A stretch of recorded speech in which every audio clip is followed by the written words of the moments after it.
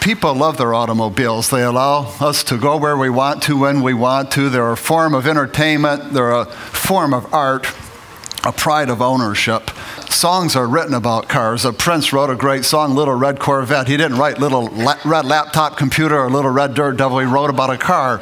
And one of my favorites has always been Make Love to Your Man in a Chevy van because that was my vehicle when I was in college. Um, the fact is, when we do our market research around the world, we see that there's uh, nearly a universal aspiration on the part of people to own an automobile. And 750 million people in the world today own a car. And you say, boy, that's a lot. But you know what? That's just 12% of the population. We really have to ask the question can the world sustain that number of automobiles? And if you look at projections over the next 10 to 15 to 20 years, it looks like the world car park could grow to on the order of 1.1 billion vehicles.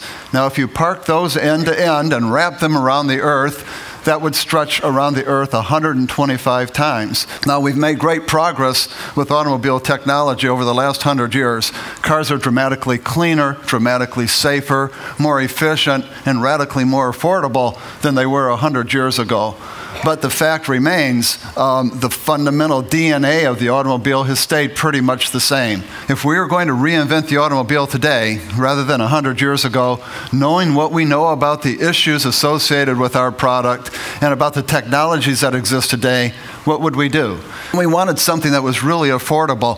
The fuel cell looked great. One tenth as many moving parts in a fuel cell propulsion system as an internal combustion engine, and it emits just water. And we wanted to take advantage of Moore's Law with electronic controls and software, and we absolutely wanted our car to be connected. So we embarked upon the reinvention around an electrochemical engine, the fuel cell, hydrogen as the energy carrier. First was autonomy. Autonomy really set the vision for where we wanted to head. We embodied all of the key components of a fuel cell propulsion system. We then had autonomy drivable with Hy-wire, and we showed Hy-wire here at this conference last year. Hy-wire is the world's first drivable fuel cell, and we have followed up that now with Sequel. And Sequel truly is a real car. So if we could run the video.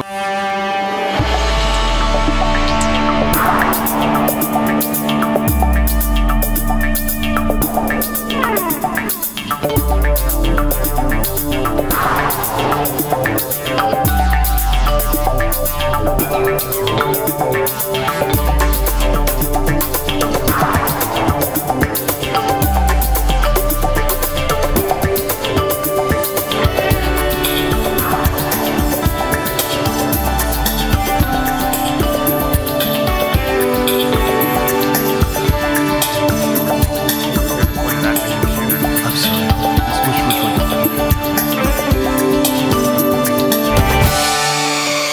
That's my last one. Thank you.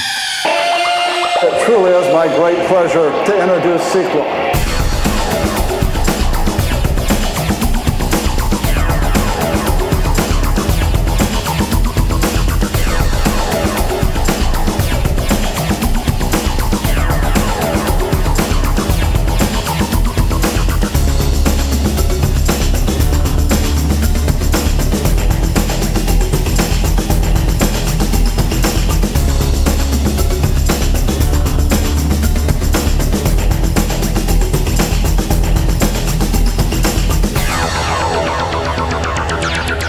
But the real key question, I'm sure it's on your mind, where's the hydrogen going to come from? And secondly, when are these kinds of cars going to be available? So let me talk about hydrogen first. The beauty of hydrogen is it can come from so many different sources. It can come from fossil fuels, it can come from any way that you can create electricity, including renewables, and it can come from biofuels, and that, that's quite exciting.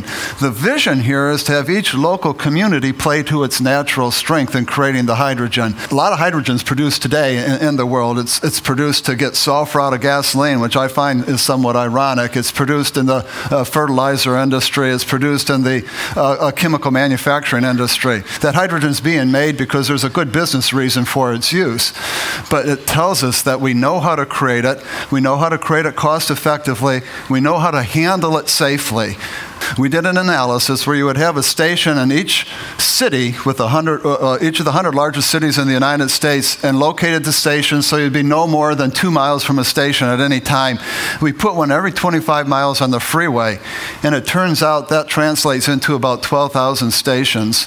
And at a million dollars each, that would be about $12 billion. Now, that's a lot of money, but if you built the Alaskan pipeline today, that's half of what the Alaskan pipeline would cost. Uh, but the real exciting vision that we see truly is home refueling, much like recharging your laptop or recharging your cell phone. So we're pretty excited about uh, the future of hydrogen. We think it's a question of not um, a whether, but a question of when. What we've targeted for ourselves, and we're making great progress toward this goal, is to have a propulsion system based on hydrogen and fuel cells, designed and validated, that can go head to head with the internal combustion engine. We're talking about obsoleting the internal combustion engine and do it in terms of its affordability at scale volumes, its performance, and its durability. So that's what we're driving to for 2010. We haven't seen anything yet in our development work that says that isn't possible. We actually think the future is going to be event driven. So since we can't predict the future, we want to spend a lot of our time trying to create that future. I'm very, very intrigued by the fact that our cars and trucks sit idle 90% of the time. They're, they're parked. They're parked all around us. They're usually parked within 100 feet of the people that own them. Now, if you take the power generating capability of an automobile and you compare that to the electric grid in the United States, it turns out that 4% of the automobiles, the power in 4% of the automobiles, equals that of the electric grid of the U.S. That's a huge power generating capability, a mobile power generating capability. And hydrogen and fuel cells give us that opportunity to actually use our cars and trucks when they're parked to generate electricity for the grid. And we talked about swarm networks earlier, talking about the ultimate swarm, about having all of the processors and all of the cars when they're sitting idle being part of a global grid for computing capability. We find that premise quite exciting the automobile becomes then an appliance, not in a commodity sense, but an appliance, mobile power, mobile platform for information and computing and communication, as well as a form of transportation. And the key to all of this is to make it affordable, to make it exciting, to get it on a pathway where there's a way to make money doing it. And again, this is a pretty big, a pretty big march to take here. And a lot of people say, how do you sleep at night when you're wrestling with a problem of that magnitude? And I tell them I, I sleep like a baby. I wake up crying every two hours. But uh, actually, actually, the theme of this conference, I think, has hit on really one of the major keys to pull that off, and that's relationships and working together. Thank you very much. Larry, Larry, wait, wait, wait, wait, wait. Larry, wait, wait one sec. Just, uh, I've got so many questions I could ask you. I just want to ask one. You know, I, I could be wrong about this, but my, my sense is that in the public mind today, that GM is not viewed as uh, as serious about some of these environmental ideas as some of your Japanese competitors, maybe even as, as Ford. Are you serious about it? And not just, you know, when the consumers want it, when the regulators force us to do it, we will go there. Are you guys going to really try and show leadership yeah. on this? Yeah, we're absolutely serious. Um, uh, we're into this over a billion dollars already, so I would hope people would think we're serious when we're spending that kind of money.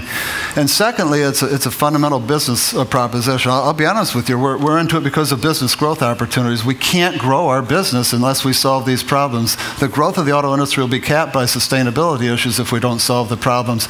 And there's a simple principle of strategy. It says, do unto yourself before others do unto you if we can see this possible future, others can too, and we want to be the first one to create it, Chris.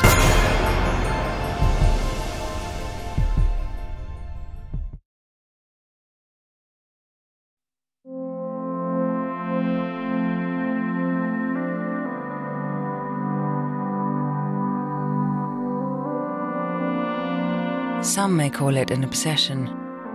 At Rolex, however, the pursuit of excellence is a passion. Finding a pink gold that wouldn't fade over time was just one more challenge. By adding just a touch of platinum, the most noble of metals, Rolex created an exclusive new alloy. We call it Everose Gold. A perfectly blended color of gold that will remain pink forever. Another first in the history of watchmaking only Rolex could have created an alloy like Everose.